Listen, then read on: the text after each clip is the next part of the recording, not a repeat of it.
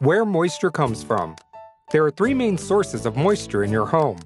Number one is air leakage into the home through walls, roofs, and floors can have damaging effects on your home.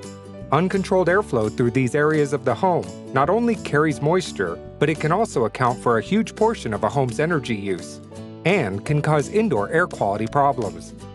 Number two is diffusion through materials. This is a process by which vapor spreads or moves through materials caused by a difference in water vapor pressure. An example of this is when the soil becomes saturated and moisture enters the crawl space through the walls by vapor diffusion. Installing a vapor barrier can help reduce the amount of moisture that makes its way into the crawl space and into the rest of the home. Number three is internally generated moisture. A family of four produces on average 2 pints of water an hour, or up to 25 pints of water a day simply by washing dishes, taking showers, cooking, and breathing.